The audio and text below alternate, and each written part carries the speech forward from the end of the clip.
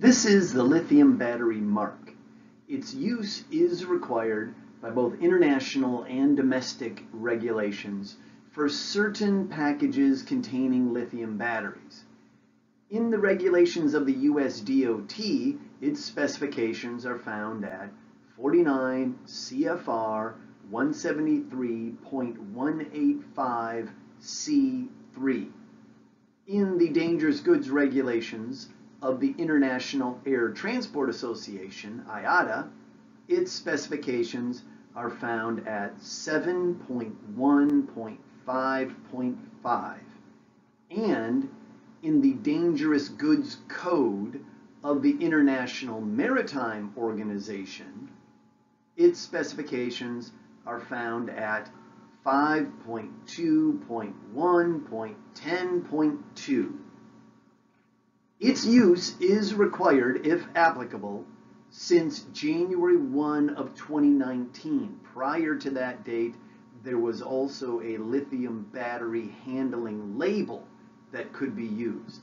But that ended as of January 1, 2019. Now, if required, you must use this lithium battery mark. The mark must be in the form of a rectangle and it must have a minimum dimension of 120 millimeters wide by 110 millimeters high. In the US DOT regulations, the US measurements are given of 4.7 inches wide by 4.3 inches high. A smaller lithium battery mark is acceptable if the packaging is too small for the full size mark. In that case of a smaller packaging, the only acceptable minimum size is 105 millimeters wide by 74 millimeters high. Once again, the US DOT regulations give measurements in the US standard, which is 4.1 inches by 2.9 inches. But that's as small as it can go.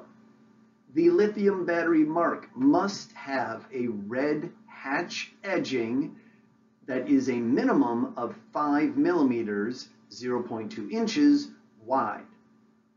All symbols and letters on the lithium battery mark must be black and they must appear on a white background or another suitable contrasting background. So it doesn't have to be white, but there must be a contrast between it and the black symbols and letters.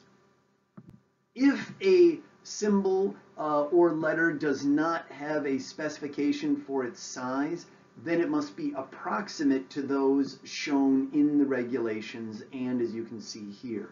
So there is no minimum uh, height or specification for the battery symbols themselves that appear there, but they must be approximate to as they're shown in the regulations. Now, on the lithium battery mark, you see the, the asterisk down towards the bottom. The single asterisk must be replaced with the hazmat's identification number. This identification number must include the letters UN. So you're going to have the letters UN followed by the four digits of the identification number. There may be more than one identification number on a single lithium battery mark that is acceptable. The identification number must be a minimum of 12 millimeters high. The double asterisk just below it must be replaced by the shipper with a telephone number that may be reached for additional information. This is not an emergency response telephone number, that would be in a different location. This is an information phone number that can be called for additional information about the shipment. That is the specifications for the use of the lithium battery mark for its appearance.